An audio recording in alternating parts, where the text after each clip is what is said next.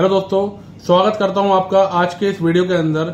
आज के इस वीडियो में मैं आपको बताऊँगा कि Z plus mobile anti software के फीचर के बारे में, जिसका नाम है डू नॉट टच मोड तो डू नॉट टच मोड किस तरीके से वर्क करता है, चलिए जानते हैं। सबसे पहले आपको अपनी एप्लीकेशन ऑन ओपन करनी है, जिसका नाम है जेड प्लस जैसे आप ओपन करेंगे, ये आपसे एमपिन मांगेगा।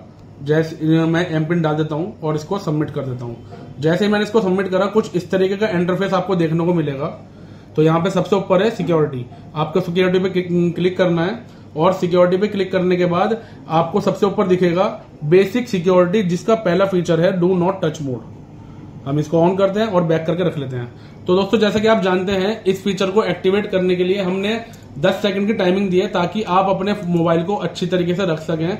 10 सेकंड बाद ही ये एक्टिवेट मोड पे अलर्ट मोड पे आता है और अपना काम करना स्टार्ट करता है। तो चलिए जानते हैं कैसे। जैसे ही मैं इसको उठाऊँगा आप देखें, जैसे ही मैंने इसको उठाया, इसने सायरन करना स्टार्ट कर दिया है। मतलब Z प्लस अलर्ट मोड पे आ चुका है। अब मैं इसके यहाँ पे पावर डाउन अगर वॉल्यूम डाउन करता हूँ तो आप देखिए, मैं इसकी वॉल्यूम डाउन कर रहा हूँ, लेकिन Z प्लस को कम नहीं होने दे रहा है, क्योंकि उसने वॉल्यूम को बटन को डिजेबल कर दिया है। आप दोबारा देखिए एक बार।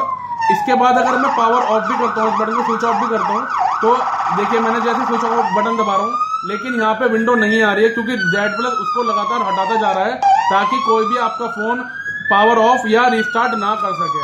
एक बार दोबारा देखिए दोस्तों, मैं इसकी जो वॉल्यूम है वो दोबारा डाउन करता हूँ। देखिए, इसकी वॉल्यूम डाउन बिल्कुल भी नहीं हो रही है, ये अपना आप ही लगातार ऊपर जा रहा है। अब जैसे मैं इसका पासवर्ड डालता हूँ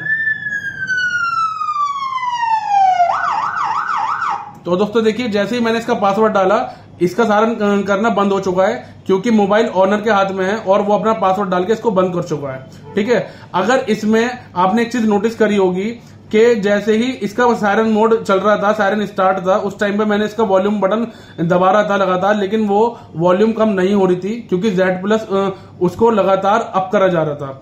ऐसे ही इसका पावर बटन अगर मैं लगातार दबा रहा था तो वो विंडो शो नहीं कर रहा था। पावर ऑफ़ वाली, ना रिस्टार्ट वाली, ताकि आपका फ़ोन कोई भी पावर ऑफ़ या रिस्टार्ट ना कर सके।